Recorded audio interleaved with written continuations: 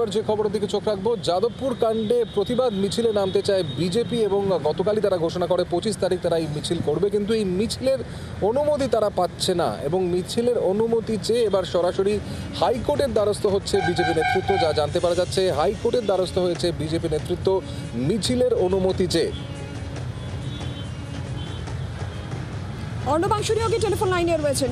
অর্ণবাংশ, কি খবর পাচ্ছ? মিছিলের অনুমতি এবার হাইকোর্টের দ্বারস্থ বিজেপি।